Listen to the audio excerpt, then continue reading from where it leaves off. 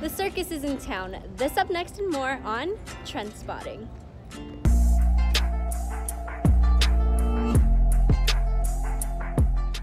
Hafa everyone. I'm Cami Aguirola, and welcome back to another episode of Trend Spotting. Here are the topics that had you talking this week.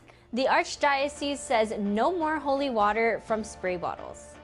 You may have seen the video, a local priest blessing All Souls Day cemetery goers with holy water from a spray bottle. The video showed people dodging the spray of holy water from Father Julius Akinyemi. Some ducked and others expressed surprise at being hit with the torrent of holy water. Father Julius is a priest for Catholic Church's Umatac and Malesso parishes. The video went viral from WhatsApp to Twitter to Facebook. KUAM reached out to the Archdiocese for a comment about the videos and Archbishop Michael Byrnes responded with the following statement statement. Father Julius and I have discussed the matter. He meant no disrespect and faced a large area to be blessed with holy water. He'll use the traditional means of sprinkling holy water on future occasions. At Tyler X San on Instagram said, As someone who attended All Souls Day Mass in Humatak this year, I can assure you we had no problem with it. LOL, it was a spray bottle, not a water blaster. At Ken8769US said, To some, it may not be seen as a big deal and may not take it as a disrespect to others, but I think think otherwise. Religion is not something you take as a joke, and paying respect to our loved ones who have passed away are in need of prayers from us still living and from the church to continue their souls to find peace is no joke. No disrespect to the priest, but I think the church should have been more prepared to accommodate everyone. At Liz Yu Wong said, I was passing by the cemetery. Lots of people were there. Just imagine doing it the normal way. At least this way is more efficient. In response, at Erica Lauren underscore said, That's what I said. I attend All Souls Day Mass in Merizo. Even with a bit of overcast at 7 in the morning, it was still hot out there. I think he was thinking about saving his congregation some time in sun. And he lightened our day with a laugh.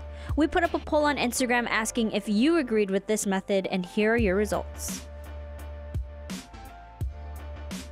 Up next, an employee letter says Brennan is not fit to run DOC. A letter from the Department of Corrections employees highlighting major concerns they have with Director Samantha Brennan has been obtained by KUAM's. The six-page letter, which is accredited to the core of the Department of Corrections, cites a very hostile environment within our facility. It also says Brennan and former Deputy Director Joy Terlaje began to feud amongst themselves within two weeks of being appointed by Governor Lou Leon Guerrero. The most liked comment with 31 likes on Instagram is from user at Mr.6366. They have major concerns because director Brennan is not a corrupted director. No more doing illegal now that she is boss. We need more leaders like her. At KDP underscore DJP commented, In law enforcement, high ranked males find it hard to take orders from a female supervisor, so muscles get flexed. But we gotta get used to it, times have changed. In another comment, at MG Collins 1970 expressed concern saying, I hope this isn't an indicator of the sexism and racism that DOC staff is exhibiting. Reverse racism exists and sexism is prevalent in a male dominant profession. To view the letter from DOC employees in full, visit our website website at KUAM.com. Not only did they set out to break the world record, but they smashed it.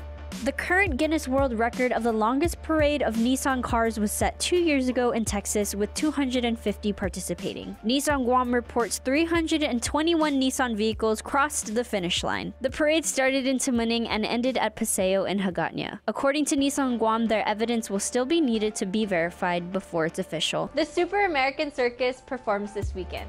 The circus is scheduled for this Friday, Saturday, and Sunday at the UOG Calvo Fieldhouse in Mangilao. You definitely don't want to miss the thrilling acts which include acrobats, daredevils, an aerial star fire act, juggling, a wheel of danger, and so much more. That's all for this episode. Si Yu'os Ma'åse' for watching, and I'll see you next week.